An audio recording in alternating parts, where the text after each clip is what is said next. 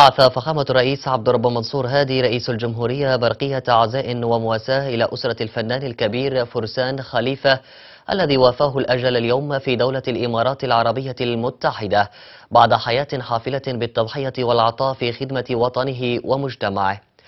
وأشار فخامة الرئيس في برقيته إلى مناقب الفقيد التي اجترحها طوال مسيرته الفنية الزاخرة بالعطاء والإبداع الحافلة بالأعمال الفنية الكثيرة والتي تمكن من خلالها الدخول إلى قلوب اليمنيين واكتسب محبتهم من خلال إبداعه المتميز الذي قدمه. وقال رئيس الجمهورية نعزي عائلة الفقيد والفنانين اليمنيين عامة بهذه الخسارة الأليمة ونعرب عن الاعتزاز بالدور الرائع الذي لعبه الفنان الكبير فرسان خليفة وتجلى جانبا منه في تكريس حياته لخدمة الفن والشعب في بلادنا. وأضاف فخامته أن الفنان الراحل سيظل بلا شك يذكر بمآثره الخالدة وإنجازاته الثمينة وما قدمه للأغنية اليمنية الأصيلة وبما عرف عنه في الإخلاص والوطنية التي تحلى بهما وحبه لبلاده من خلال الكلمة الملتزمة واللحن الشجي وموسيقاه الهادفة التي تشد القلوب والمسامع الذائقة إلى البلد والحنين له. والارتباط به. إذ انتمى إلى جيل العمالقة التي حفرت في ذاكرة الفن اليمني على امتداد عقود. وعبر رئيس الجمهورية عن أحر التعازي وصادق المواساة بهذا المصاب الأليم مبتهلا للمولى عز وجل أن يتغمد الفقيد الراحل الفنان فرسان خليفة بواسع رحمته ويسكنه فسيح جناته وأن يلهم أهله ودويه الصبر والسلوان. أدى اليمين الدستورية أمام فخامة الرئيس عبد رب منصور هادي رئيس الجمهورية كلا من الدكتور صالح السميع بمناسبة تعيينه محافظا للمحويت. وأيضا عبد الواحد الدعام بمناسبة تعيينه عضوا بمجلس الشورى. وعقب أداء اليمين الدستورية هنى فخامة الرئيس الجميع مؤكدا على أهمية تضافر الجهود وتعزيز وحدة الصف في ظل واقع اليمن اليوم والظروف التي يمر بها. وقال فخامة الرئيس أن تحمل المسؤولية اليوم هو تكليف وليس تشريف من منطلق المهام التي تقع على عاتق الجميع وتتطلب جهودا ميدانية مضاعفة مع كل الخيرين والقوى الحية للانتصار لإرادة الإنسان اليمني في العدالة والمساواة والعيش الكريم في ظل اليمن الاتحادي الجديد الذي رسم ملامحه الإجماع الوطني من خلال مخرجات الحوار الوطني ومسودة دستور اليمن الاتحادي الجديد. من جانبهم عبر الدكتور سميع والدعام عن شكرهم وامتنانهم لفخامة الرئيس على هذه الثقة التي منحت لهم. مؤكدا أنهم لن يؤلون جهدا في بذل قصارى جهودهما لخدمة وطنهم ومجتمعهم.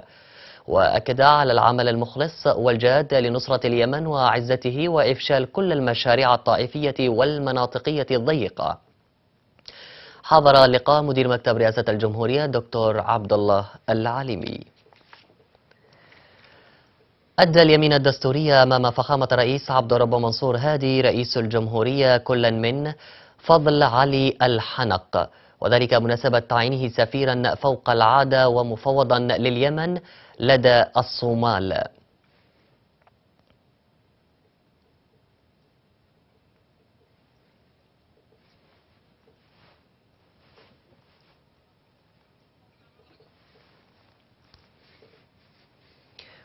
وعبد الله عبد الكريم الدعيس بمناسبة تعيينه سفيرا فوق العادة ومفوضا لدى لبنان. وهيثم عبد المؤمن شجاع الدين وذلك بمناسبة تعيينه سفيرا فوق العادة ومفوضا لدى النمسا. وعقب أداء اليمين الدستورية زود فخامة الرئيس السفراء الجدد بالتوجيهات والتعليمات اللازمة للخطوط العريضة لبرنامج عملهم في بلدان تمثيلهم لحملهم هموم بلدهم وما يمر به من صعوبات وتحديات جمة في ظل تداعيات الحرب الانقلابية وآثارها على الشعب اليمني. وقال فخامة الرئيس عليكم بلورة واقع اليمن من خلال لقاءاتكم وأنشطتكم والتي عنوانها ومرتكزها السلام الذي ينشده شعبنا المرتكز على الثوابت والمرجعيات المتمثلة في المبادرة الخليجية وآلياتها التنفيذية المزمنة ومخرجات الحوار الوطني والقرارات الأممية ذات الصلة وفي مقدمتها القرار 2216 من جانبهم عبر السفراء الجدد عن شكرهم وتقديرهم للثقة التي منحت لهم. مؤكدين بذل بذل قصارى جهودهم في تنفيذ توجيهات فخامة الرئيس واعتبارها برنامج لعملهم خلال المرحلة الراهنة. حضر اللقاء مدير مكتب رئاسة الجمهورية دكتور عبد الله العليمي. استقبل فخامة الرئيس عبد الرب منصور هادي رئيس الجمهورية سفير كوريا الجنوبية لدى اليمن يون جولي للتوديع بمناسبة انتهاء فترة عمله لدى اليمن. وجرى خلال اللقاء مناقشة جملة من القضايا والموضوعات المتصلة بالتعاون والعلاقات الاقتصادية المميزة بين البلدين الشقيقين ومنها قطاعات النفط والغاز وتكنولوجيا الاتصالات. وفي اللقاء رحب فخامة الرئيس بالسفير الكوري مشيدا بجهوده خلال فترة عمله لتعزيز العلاقة بين البلدين الصديقين. ولفت فخامة الرئيس إلى جوانب التعاون المختلفة بين البلدين الصديقين وفي مقدمتها قطاع النفط والغاز مشيرا إلى أن مجالات التعاون الواحدة التي يمكن تفعيلها لمصلحة البلدين في قطاع الاستخراجات وتأهيل الموانئ ومنها المنطقة الحرة بعدن وحمل السفير نقل تحياته للقيادة الكورية متطلعا إلى تعزيز العلاقات وتفعيلها على مختلف الصعد. من جانبه عبر السفير الكوري عن شكره للتسهيلات التي حظي بها خلال فترة عمله لدى اليمن والتي استطاع خلالها تفعيل جوانب التعاون والتأهيل والتبادل التجاري ومنها قطاعات النفط والغاز فضلا إلى جوانب الدعم الإنساني الذي تقدمه كوريا لليمن في ظل الظروف الراهنة. وأكد على مواصلة التعاون بين البلدين في مختلف القطاعات الواعدة متمنيا لليمن الأمن والاستقرار والسلام الذي تستحقه في ظل قيادته الشرعية لتجاوز تحدياتها والولوج إلى مرحلة أكثر تقدم وازدهار. حضر اللقاء مدير مكتب رئاسة الجمهورية دكتور عبد الله العليمي بعث نائب رئيس الجمهورية الفريق الركن علي محسن صالح برقية عزاء ومواساة إلى أسرة الفنان الكبير فرسان خليفة الذي وافاه الأجل يوم أمس بدولة الإمارات العربية المتحدة. عن عمر ناهز السابع والسبعين عاما حافلة بالعطاء والبذل. وأشاد نائب الرئيس بمناقب الفقيد خلال مسيرته الفنية التي أثرت على الساحة الغنائية. بالأعمال الإبداعية المتميزة والفريدة. وبرحيله يكون الوسط الفني اليمني قد خسر واحدا من رواد الأغنية اليمنية الذين كان لهم بصمات واضحة في إحياء التراث اليمني والفني الأصيل. وعز نائب الرئيس أسرة الفقيد ومحبيه والوسط الفني بهذا المصاب داعيا الله أن يتغمد الفقيد بواسع رحمته وأن يسكنه فسيح جناته وأن يلهم أهله ودويه الصبر والسلوان. ناقش نائب رئيس الجمهورية الفريق الركن علي محسن صالح آخر المستجدات بمحافظتي إب وذمار وما يعانيه أبناؤها جراء انقلاب الميليشيات على السلطة وما تسببه ذلك من مأساة بحق اليمنيين. جاء ذلك خلال لقائه محافظي إب عبد الوهاب الوائلي وذمار علي محمد القوسي والذي أشاد خلاله بنضالات أبناء المحافظتين ورفضهم للمشروع الانقلابي وتمسكهم بالدولة والشرعية. كما شدد على ضرورة توحيد الجهود والعمل مع مختلف القوى الوطنية لمواجهة الميليشيات التي عبثت بمقدرات الوطن وسفكت الدماء وأضرت بالنسيج الاجتماعي ووحدة الوطن وأمنه واستقراره. وأطلع المحافظان نائب رئيس الجمهورية على معاناة أبناء المحافظتين جراء الانقلاب وعلى الخطوات الجارية لاستكمال بناء ألوية الجيش بالمحافظتين.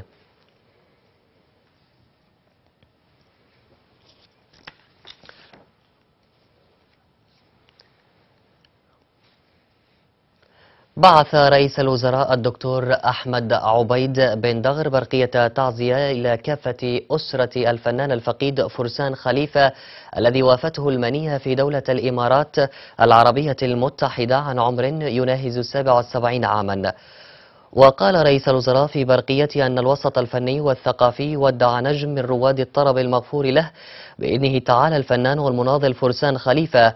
هذا الذي أوقف حياته منذ ريعان شبابه على خدمة الأغنية اليمنية مما أكسبها احترام الجميع وتقديرهم وإيجاد مكانا في مختلف ربوع الوطن بالنظر إلى التزامه بأداء الأغنية الأصيلة في انتقائه الكلمات الصادقة والرقيقة والتفرد بالألحان والتميز بالأداء الرفيع والمؤثر. وأضاف كان الفقيد مثالا يحتذى به في حبه وتفانيه وإخلاصه في العمل لوطنه في مختلف المراحل والظروف التي مر بها الوطن. وأشار رئيس الوزراء في برقيته إلى مناقب الفقيد التي اجترحها طوال مشوار حياته الحافلة بالعطاء في مجال الفن لخدمة وطنه. مبتهلا للمولى عز وجل أن يتغمد الفقيد الراحل الفنان فرسان خليفة بواسع رحمته وأن يسكنه فسيح جناته وأن يلهم أهله وذويه الصبر والسلوان. أكد رئيس الوزراء الدكتور أحمد عبيد بن دغر أن إفشال ميليشيات الحوثي وصالح الإنقلابية للهدنة الإنسانية الأخيرة وارتكابها خروقات تجاوزت الحصر واستمرار تحشيدها العسكري وعدم السماح بدخول المساعدات إلى المناطق المحاصرة خاصة تعز يبرهن على عدم جديتها أو قبولها الانصياع للسلام والرضوخ للإرادة الشعبية وتنفيذ القرارات الدولية الملزمة. ولفت رئيس الوزراء لدى استقباله السفير الأمريكي لدى اليمن ماثيو تولر إلى أن الميليشيات الانقلابية تتلقى أي إشارات تتساهل مع المجتمع الدولي أو, أو تنازل من الحكومة الشرعية لحقن دماء اليمنيين على أنه انتصارا لها وشرعنة لوجودها لتمضي قدما في مشروعها التدميري وانتهاكاتها السافرة بحق المواطنين. مشيرا إلى أن استعادة أمن واستقرار اليمن وشعبها لن تستقيم ما لم تكف الميليشيات الانقلابية عن جرائمها الوحشية والدموية بحق المواطنين ورضوخها لإرادتهم الرافضة لحكمهم بقوة السلاح ومنطق الغرور والاستعلاء. وعدم الذهاب بعيدا في المأزق الذي أوقعت نفسها فيه. وأكد بن دغر أن الحكومة الشرعية كانت وستظل مع أي حل سياسي لرفع معاناة اليمنيين وتعاملت إيجابيا مع كل الجهود الإقليمية والدولية وأن تمسكها بمرجعيات الحل المتوافق عليها هو لضمان حل عادل وشامل لا يؤسس أو يمهد لصراعات جديدة. وذلك ليس محل خلاف باعتباره يعكس الإرادة الشعبية اليمنية ويحترم هيبة القرارات الدولية الملزمة. وناقش رئيس الوزراء مع السفير الأمريكي خلال اللقاء مجالات التعاون القائمة بين البلدين الصديقين. والدور الأمريكي الداعم للحكومة الشرعية والشعب اليمني في تجاوز الأوضاع الراهنة في إطار الموقف الدولي المساند للتوصل إلى حل سياسي بموجب مرجعيات الحل المتوافق عليها لأنهاء الانقلاب واستئناف المسار السياسي وتطرق اللقاء إلى الجهود التي تبذلها الحكومة الشرعية لتطبيع الأوضاع في المناطق المحررة والنجاحات التي حققتها على صعيد مكافحة الإرهاب بمساندة فاعلة من التحالف العربي لدعم الشرعية في اليمن بقيادة المملكة العربية السعودية.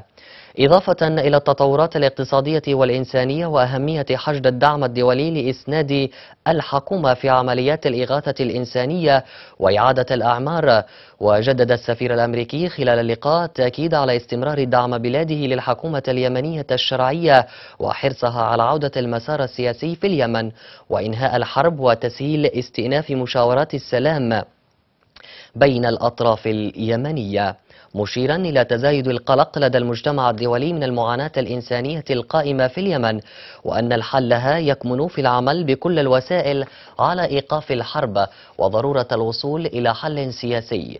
حضر اللقاء وزير الإعلام معمر الإرياني والمتحدث باسم الحكومة اليمنية راجح بادي.